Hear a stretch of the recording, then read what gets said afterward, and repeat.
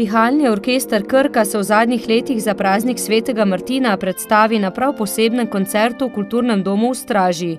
Na Martinovem koncertu sta se združila odlična glasba in humor navihanega Ribančana, za njim pa je sledila še degustacija mladih vin vinogradniškega društva Straža. Ja, Martinov koncert je v Straži postal že tradicionalen, ker je pa sedaj že tretje leto po vrsti.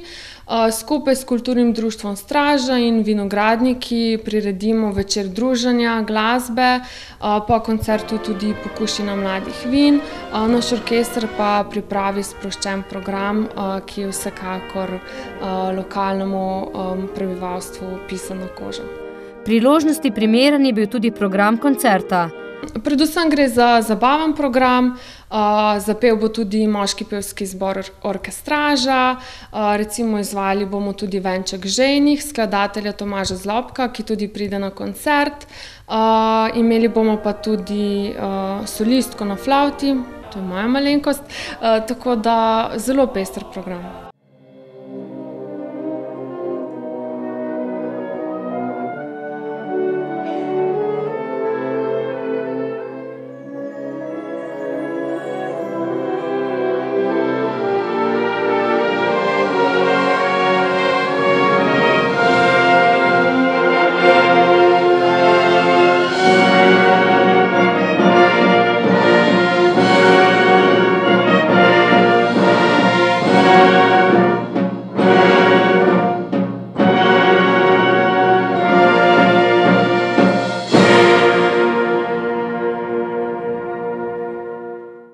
Vsakič se potrudijo, da je eden od solistov član Pihalnega orkestra Krka, in tokrat je to vlogo prevzela prav Pavličeva. To je velika čast, predvsem s takim dobrim orkestrom nastopati, je v ponos vsakemu solistu, vsekakor je pa tudi velika odgovornost, tako da je treba veliko vaje, koncentracije in dela. Dejstvo, da imajo tovrstne koncerte prav v kulturnem domu v Straži, zagotovo ni naključje. Ja, orkester je začel v Straži, nato pa se je s širitvijo tudi članstva in dela, prerastel pod Mestno občino Novo mesto in že kar več kot, dvajset let je pod mestno občino. Nedavno se je pihalnikom izpolnila tudi dolgoletna velika želja. Izdali so namreč prvi samostojni album.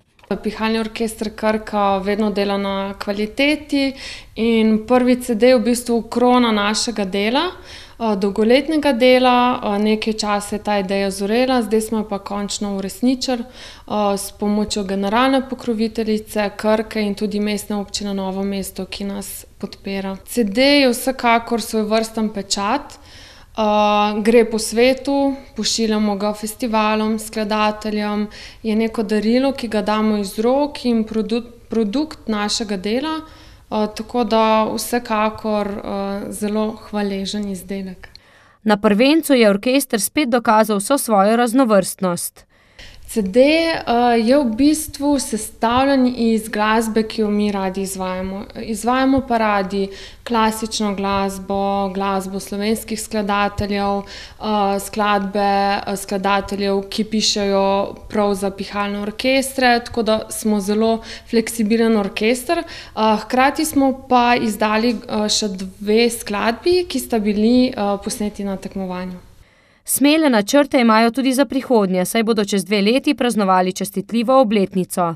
Pred šestdeseto obletnico bomo imeli še koncert v Slovenski filharmoniji, tam bomo izvajali klavirski koncert, Rakhmaninovega.